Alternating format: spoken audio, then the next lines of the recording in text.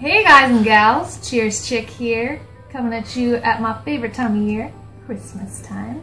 And what more appropriate beer to taste during Christmas time than the Delirium Noel? If you're unfamiliar with the Delirium series, they are produced from a Belgian brewery called Huyghe Brewery, and they come out of Melle, Belgium.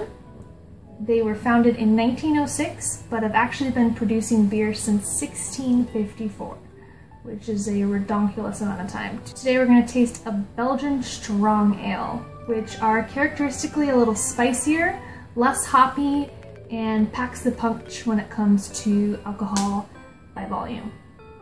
This bad boy is 10%, which I'm pretty excited about. So Rate Beer gives it a 96, Beer Advocate an 87, and I think it's about time we rate it ourselves. So let's open it up thing I like about uh, the Huyghe Brewery is their designs on their bottles. It's pretty badass. They've always got a pink elephant on the front, which actually exists in nature. Not sure if you're aware of that. They're called al albino elephants. It's my favorite part.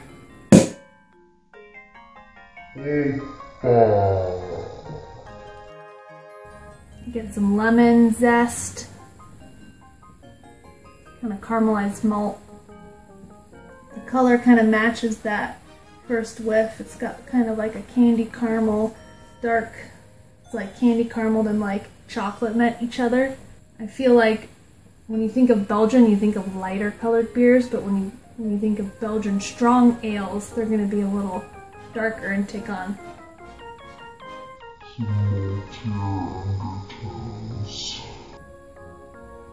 Cheers.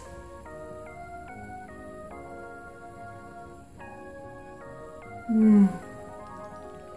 I like to make sound effects when I taste it. I think it helps open up my palate. I'm definitely still getting that caramelized malt and the lemon zest is not there that I got on the nose. And I feel like most Belgians, like triples, they do have that lemon finish, but there's none of that in this. And you can't taste the alcohol, they really mask it well. It does not taste like this is 10%. That's why I love Belgians. You can just drink them up. It's like the Everclear of beers. Don't taste anything. Get good and buzzed. I think it's come to that time. I'm going to give it probably, I'm going to give it a 3.5 beer cheer. I don't want to make it look like I'm a hard ass, but really it's it's between 3.5 and 4. Hoping you guys got to taste this delicious beer. If you haven't yet, go get one. I definitely recommend sharing it with friends since it is kind of high on the alcohol. You guys can both get a little tipsy, start seeing pink elephants, have an awesome time, and until next time, Merry Christmas, everyone, and cheers to Belgium and their delicious beer.